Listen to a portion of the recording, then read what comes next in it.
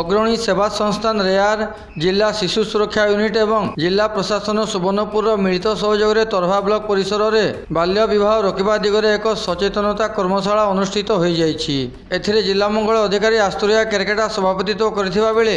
সম্মানিত অতিথি ভাবে নূতনভাবে যোগদান করে তরভা এনএসি নির্বাহী অধিকারী কিরণ বেহেরা বিইও কেশব মেহের জেলা শিশু সুরক্ষা ইউনিটর বিজয় বিশ্বাল গোষ্ঠী স্বাস্থ্যকর্মী প্রিয়দর্শনী পূজা পণ্ডা যোগদান করে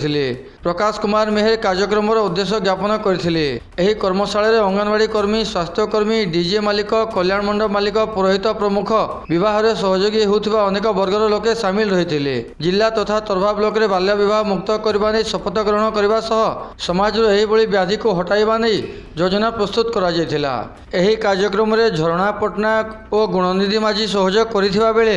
କାର୍ଯ୍ୟକ୍ରମ ଶେଷରେ ପ୍ରକଳ୍ପ ସହାୟକ ସୁଶାନ୍ତ ଶାହ ଧନ୍ୟବାଦ ଅର୍ପଣ କରିଥିଲେ